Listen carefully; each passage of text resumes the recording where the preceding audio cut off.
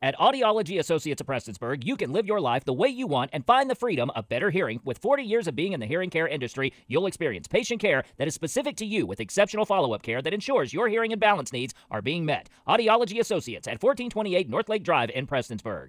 The Brushy Fork Leadership Institute at Berea College is seeking applications from Floyd, Bell, Clay, and Perry counties for the People Ready Communities Leadership Program to explore community development, principles, personal leadership skills, and design and carry out a six month project to build towards being people ready. The People Ready Communities Program builds on that history of doing leadership development in the region.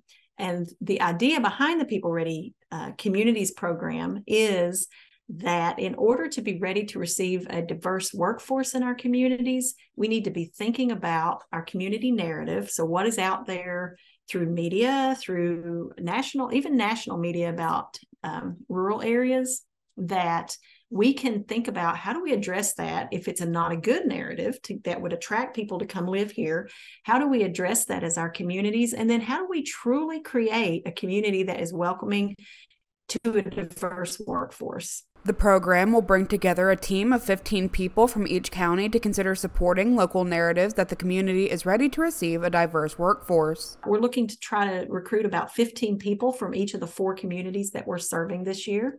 And those community teams would work on building their personal leadership skills, but then also think about in their communities what is the narrative we want to have?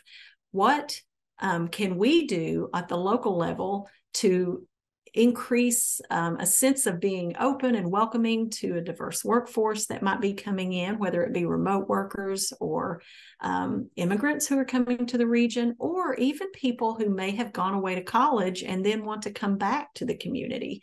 Those interested in applying for the People Ready Communities Leadership Program can contact Jacqueline Quorum at quorumj at berea.edu or call 859 985 3858.